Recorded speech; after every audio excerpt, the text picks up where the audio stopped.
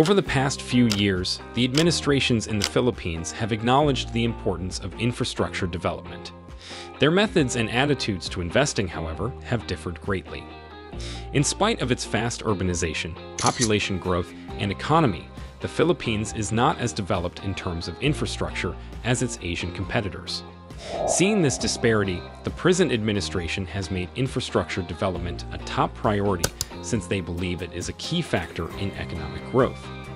The administration unveiled the bold Build, Build, Build BBB program in 2017, with the goal of increasing infrastructure spending from 5.1% of GDP in 2016 to 7.4% of GDP by 2022. This dedication was demonstrated by the extraordinary 50% increase in infrastructure investment to an estimated 728 billion Philippine pesos between January and November 2018 compared to the 486.5 billion pesos spent the previous year. Now let's look into some of the ongoing mega projects in the Philippines. 7. Metro Manila Subway Metro Manila Subway is a 33 1 kilometer long subway being constructed in Metro Manila, Philippines, from Valenzuela to the Ninoy Aquino International Airport, NAIA, connecting 17 stations and a depot. It will be the first mass underground transport system in the Philippines. It has a design capacity to accommodate 1.5 million passengers a day and is expected to serve 400,000 passengers to as many as 800,000 passengers in a day. The project was proposed by the Department of Transportation, DOTR, and approved by the National Economic Development Authority's Investment Coordination Committee, NEDA ICC. The subway is part of the Duterte administration's Build, Build, Build program. Groundbreaking for the Manila subway project was held in Valenzuela City in February 2019. Phase 1 is expected to be completed by 2025. The entire Metro Manila subway project, MSP, is set to be completed by July 2027. In December 2020, Department of Transportation partnered with the Department of National Defense Armed Forces of the Philippines, DND-AFP, to receive a right, off, way for the project. MSP will use 50,000 square meters of DND AFP land.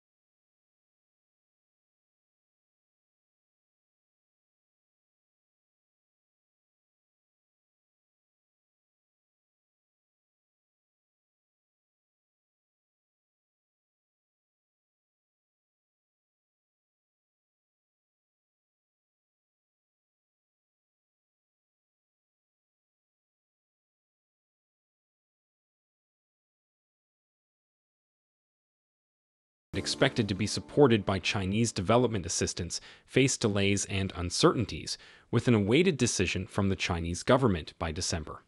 Despite challenges, a segment between San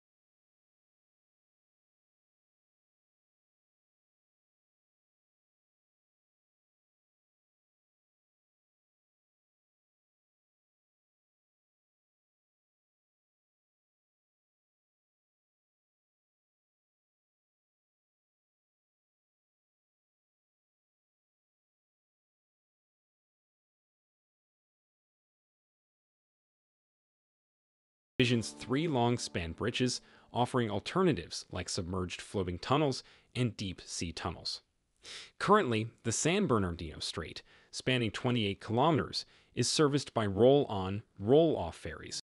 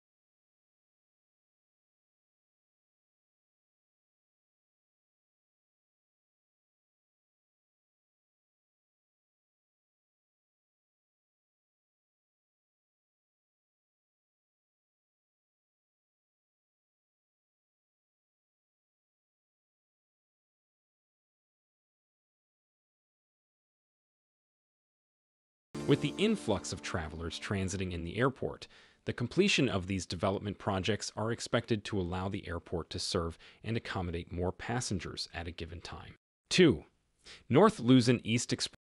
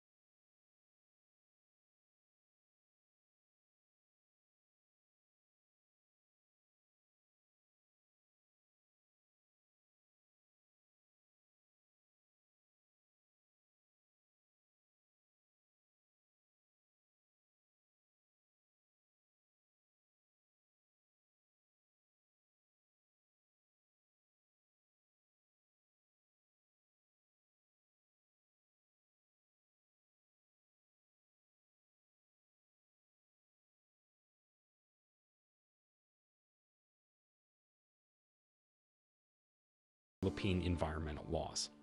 The integration of the wetlands and roadways in the project shall have favorable impact on the environment while producing 10 2 million cubic meters to the La Mesa Reservoir. The system, developed and used